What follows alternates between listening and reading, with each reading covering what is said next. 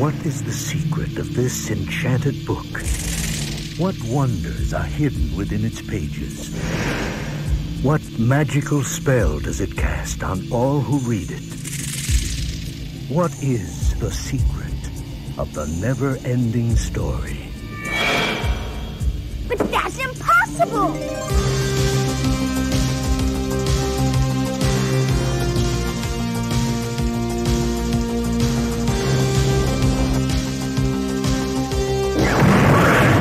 Will enter a world where a young boy's imagination becomes a vivid reality.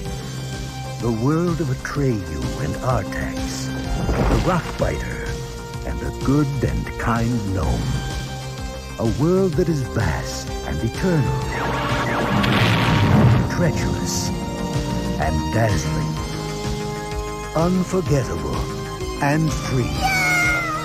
For anyone who's ever made a wish, believed in a fantasy, or had a dream, this is the never-ending story.